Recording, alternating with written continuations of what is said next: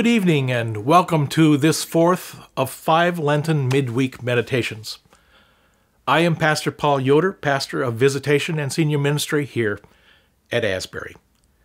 If this is your first visit with us, I'm so glad you have tuned in and and hope the next 20 to 25 minutes will lead you to uh, to tuning in again next week and uh, perhaps to visit our live stream worship this Sunday morning at 9 or 10:30. 9 a.m. is a, a, more traditional style worship with hymns and liturgy, while 10:30 worship is uh, is contemporary in nature with praise music led by a, a praise band. Just use the same connection as you are using right now.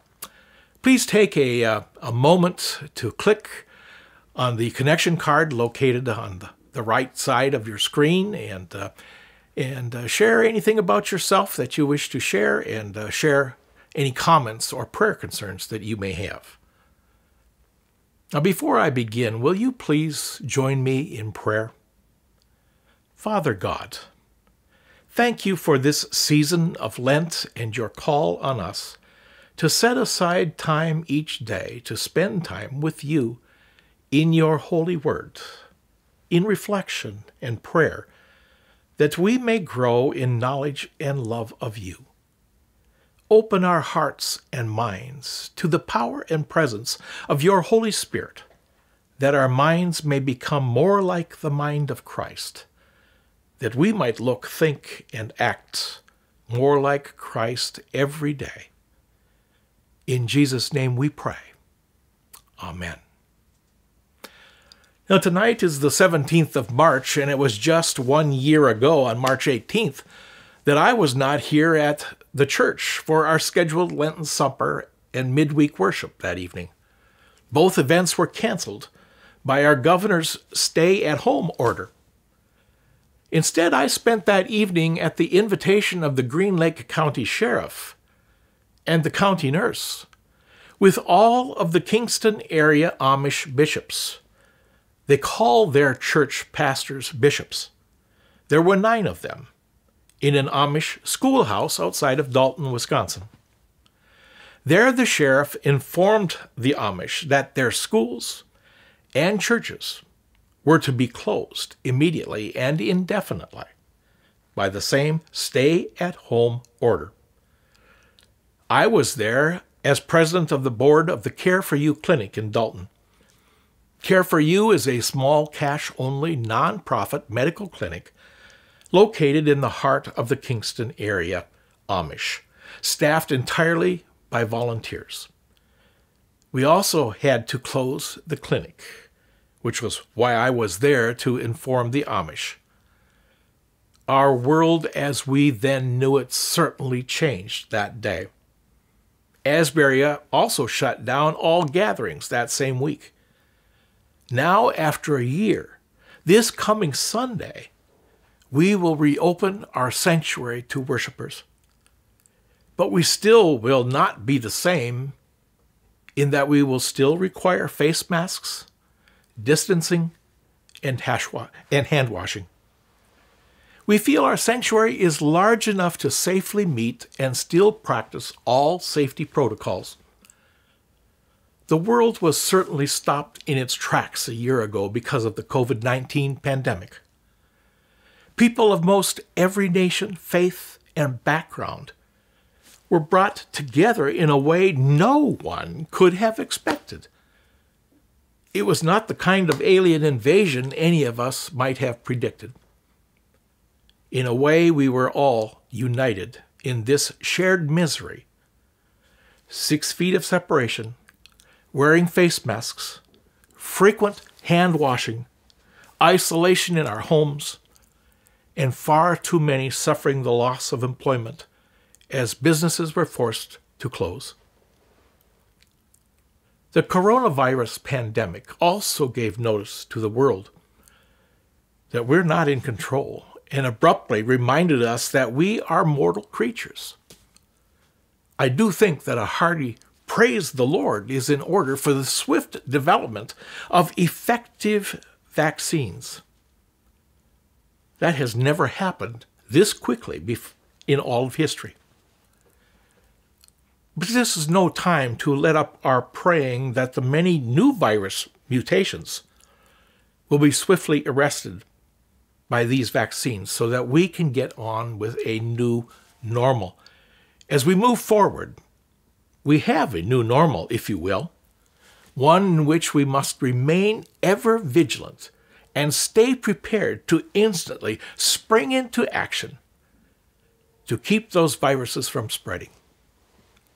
Every Wednesday during Lent, I have prepared a meditation from Paul's letter to the Philippians, chapter 2, verses 5 through 11, in which Paul wrote, In your relationship with one another, have the same mindset as Christ Jesus, who, being in very nature God, did not consider equality with God something to be used to his own advantage. Rather, he made himself nothing by taking the very nature of a servant, being made in human likeness, and being found in appearance as a man, he humbled himself by, by becoming obedient to death, even death on a cross. Therefore, God exalted him to the highest place and gave him the name that is above every name, that at the name of Jesus every knee should bow in heaven and on earth and under the earth, and every tongue acknowledge that Jesus Christ is Lord to the glory of God the Father. The word of God for the people of God. Thanks be to God. Now, last week in week three in this series, I spoke on the verse, At the name of Jesus, every knee should bow. I said that when I think of bowing, I generally uh, think of bowing my head. Here, Paul's meaning is to bend the knee, which conveys acknowledgement that the one to whom we are bending or bowing the knee, uh, that we are subservient to, to that individual to whom we are bending the knee. It is a position not to be taken lightly, for we are prideful. And this action for us is, is humiliating. When we bow the knee before another person, we are acknowledging that we are uh, subservient to them and that they are superior to us. Paul says that one day all humanity should bow the knee, bend the knee before Jesus. This evening, our focus is verse 11. And every tongue should acknowledge that Jesus Christ is Lord. Now, that is anything but the truth today, isn't it? Paul's claim seems rather preposterous to us. And if it weren't straight from God's word, we might be among the many scoffers. Here in America, church membership keeps declining year after year after year, and the percentage of Americans who claim belief in Christ as Lord is also in steady decline. The Bible and the historic creeds of the Christian church plainly declare that Jesus Christ is truly God and truly man, united by what we call is the uh, hypostatic union. Throughout history, Critics have denied this claim that Jesus is Lord, believing instead that Jesus was just a, a great teacher and nothing more. The 2020 State of Theology Survey, conducted by Ligonier Ministries, a Florida based Reformed church nonprofit, revealed that a majority of American adults hold this false view. 52% of Americans surveyed last year do not accept the biblical claim that Jesus is Lord. 52%. Pollster George Gallup has also documented our nation's declining belief in God in his annual Gallup polls. It causes us to question our national motto In God we trust. Yet, here in his letter to the Philippians, Paul claims that one day every tongue should acknowledge that Jesus Christ is Lord. By every tongue, Paul is saying every nation, every race, every tribe should acknowledge Jesus is Lord. Can this ever be? Until I studied this scripture for these series of messages, I suddenly realized that I had always misread Paul. I thought Paul wrote that every tongue will acknowledge that Jesus is Lord. But that's not what he wrote. Instead of will confess, he, he wrote should confess. That's a mighty big cavern between will and shall or should. Our heart's desire is that no one be lost, that all are saved. But the truth is that because of our free will, many will still reject any belief that Jesus is Lord and go on to eternal separation from God and destruction. But it places on us an even greater mission to evangelize the world. It seems an impossible task, an impossible dream. Thank God we don't carry this burden alone. Christ promised us to be with us to the end. The Lord gave us the mission and is ever ready to lead and support us. We cannot fail. Think back to Matthew chapter 28 and the Great Commission. When Jesus instructed his disciples to go therefore and make disciples of all nations, baptizing them in the name of the Father and of the Son and of the Holy Spirit, and teaching them to obey everything that I have commanded, commanded you. Matthew 28, 19 and 20. Now, I read that from the New Revised Standard Version. In the Gospel of Mark, we read, And Jesus said to his disciples, Go into all the world and proclaim the good news to the whole creation.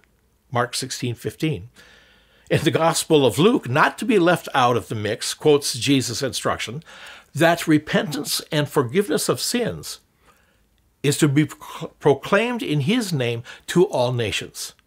Luke 24 47. Is there any doubt this is God's will that everyone, I say again, everyone, should hear the good news? Now, our skeptical nature says, yes, all may hear the good news, but we know that hearing does not equate to accepting and believing that good news. Free choice still makes it a personal decision to accept or not accept the truth of Scripture. Verse 11 says, And every tongue should acknowledge that Jesus Christ is Lord. That is the New International Version translation. I learned this passage in the New Revised Standard Version translation, in which verse 11 reads, And every tongue should confess that Jesus Christ is Lord. Confess just somehow seems a, a stronger verb than acknowledge. I may acknowledge a lot of things, but when I confess something, it is as if my heart is really in it. I acknowledge the speed limits on the expressway is 70, but it does not mean I won't uh, drive 75 or 78. But if I confess to a 70 mile per hour speed limit, I am more likely to set the cruise at 70. In last week's meditation, our lesson was all about Jesus' name.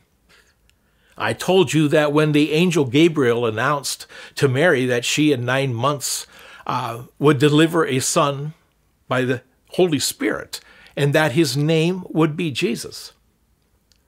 Again, when Gabriel appeared much later to Joseph, her husband, in a dream, he told him the child's name would be Jesus also, or Yeshua, or Joshua. It literally means Jesus saves. We find those stories in Luke's gospel. It is the name Jesus that brings us together this evening, this coming Sunday in our sanctuary and online. And the name Jesus has been bringing Christians together in so many ways and places across time and space. The name Jesus, Yahweh saves, tells us both who he is and what he does. He is the Savior who is saving us from our sin and redeeming us from the penalty of death. Jesus' name is what we proclaim as we gather as his people today. Many of us committed the Apostles' Creed to memory, reciting it when we were confirmed as youth. A creed is a statement of belief, of faith. We recite it to claim this is where we stand. Jesus is Lord is one of the earliest creeds of the Christian faith. It confesses that Jesus, the Son of Mary, is also the Son of the Most High. It's saying that this Jesus of Nazareth is God. He is the Christ, the Messiah, the rescuer, the reconciler. He's the one through whom Yahweh saves his creation. For the people of the early church, to confess that Jesus is Lord was a big deal because it would immediately put their lives in danger. For it went against, against both the Jewish religious authorities and the Roman government. Saying Jesus is Lord isn't simply a statement of belief, it's a declaration that the believer's confidence is in Christ. Jesus is the one who saves me. Jesus Christ is my Lord. He's the one who saves you and me and the rest of humanity. And the reverse is also then true. The Roman Caesar is not my Lord, and not in whom I place my trust. Further, by claiming Christ, we are not yielding to the high priest or giving allegiance to the temple authorities. They heard Jesus is Lord as a threat to their positions, their status. Throughout this season of Lent, our midweek meditations have explored this hymn of Christ from Philippians 2 5 through 11. It praises God for his love shown to us through Christ Jesus, who gave up more than we can possibly comprehend. And God gives his grace to the world through his Son, Jesus, born of Mary. Why did Christ do this? He did it because he knows that we are broken and divided. Each of us is drawn to care more for ourselves than for each other. He does it so that we broken people might be made whole and have abundant lives bearing the gifts of love, joy, peace, patience, kindness, generosity, faithfulness, gentleness, and self control. Christ calls us to himself and accepts us as we are, sin and all. Thank God, he does not leave us there, but by his grace continually transforms us into his likeness. By his love and grace, we continually transform, he continually transforms us to have minds more like his, seeing the world through his eyes. We become more holy, more like Christ. We are sanctified, becoming as Christ to the world. We move on to Christian perfection, perfectly like Christ. We can say without reservation that for us, Jesus is Lord a favorite song sung by, sung by the singing seminarians at Asbury Theological Seminary while I studied for my master's in divinity was titled He Never Failed Me Yet, written by Robert Day. In my 74 years, I have had many people in whom I had placed my hope and trust fail me. I could almost count on it but ever since I accepted Christ's call on my life to serve Him, to take up my cross and follow Him, I can say, along with the words of this song, He never failed me. He never failed me yet. I firmly believe He never, ever will. As God's people in Christ, you and I are called to confess with our lips our faith, to give witness to, to speak of our hope and faith, to live out that hope, that faith.